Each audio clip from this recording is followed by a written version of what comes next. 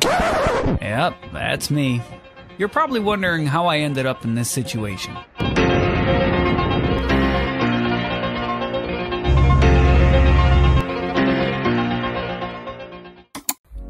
So I'm out at the glacier today and um, I didn't bring any water. I'm a little thirsty. As you can see, there's nothing around, nobody around, but I have a LifeStraw. So I'm just gonna go over to this glacial river, looking forward to it.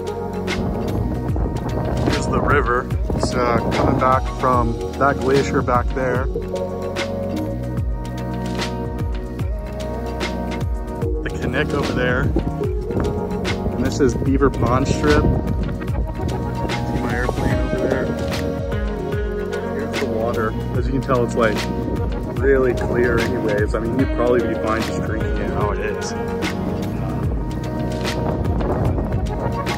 You got all these glaciers here, a runoff from it. I don't see any bears or anything, so just gonna have a drink. All right, here goes nothing. Okay, when I move, I don't know if you can see that, but it's like kicking up there. So maybe I'm gonna find a rock or report back. I can't do this while filming.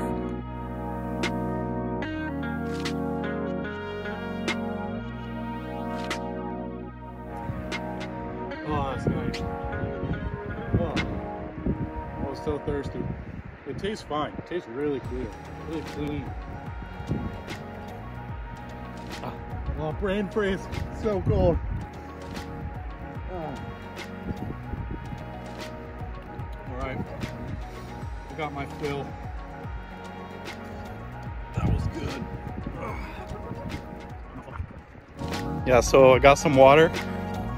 Um, there's so much exploring to do back here. There's miles of just like untouched crap, just like beautiful stuff everywhere you look. So I'm gonna go see what I can find.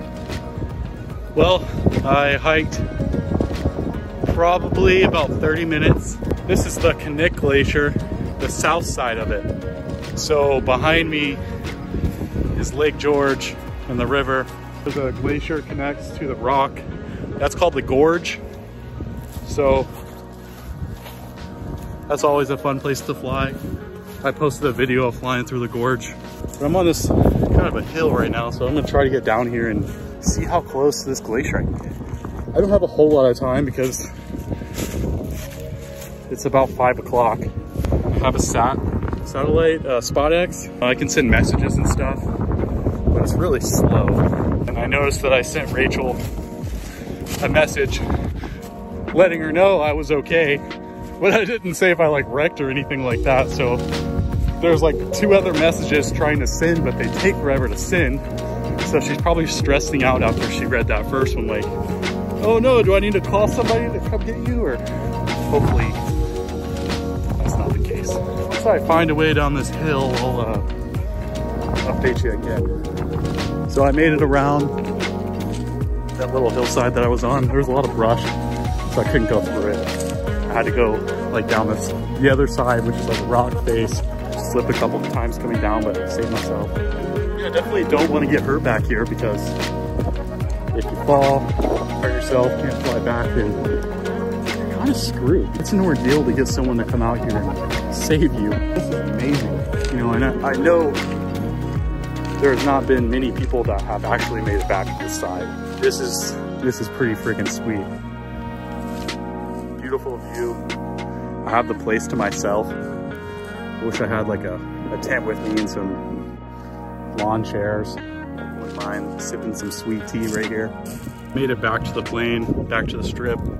It's not too bad, but um, there is that like mountainous hill right there that you kind of got to watch out for. Probably a good 500 feet. Runway's probably three or 400 feet. Here's a look at the runway um, and the hill behind it. Pretty big divots here. You gotta watch out for bigger rocks you have to look out for. Things like that. Toss some of these bigger rocks to the side. Nobody wants to hit those.